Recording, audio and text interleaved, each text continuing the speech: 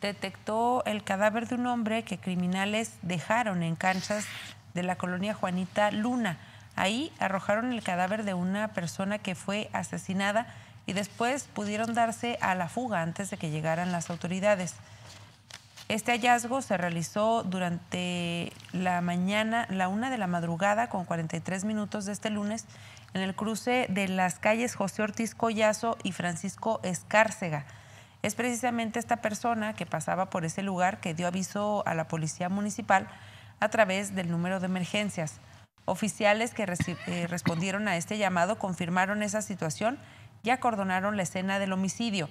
Después notificaron a los elementos de la Fiscalía de Chihuahua. Se trata de un hombre que tenía las manos y los pies atados. Sus verdugos lo dejaron envuelto en una cobija y huyeron sin hacer mucho movimiento para no ser detectados. Aunque ese espacio público cuenta con alumbrado, está en un sector eh, bastante oscuro. Por ejemplo, en esas canchas sí hay alumbrado, pero hay calles aledañas que no tienen precisamente este servicio y que se piensa que precisamente ese factor es el que impidió que fueran observados estos criminales que dejaron ahí el cadáver.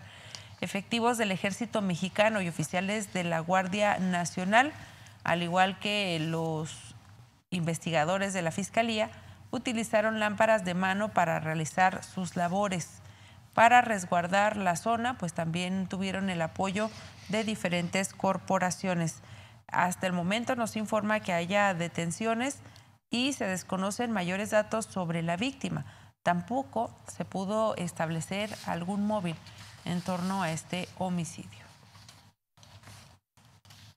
Bueno, ¿le seguimos? Seguimos pues, todavía.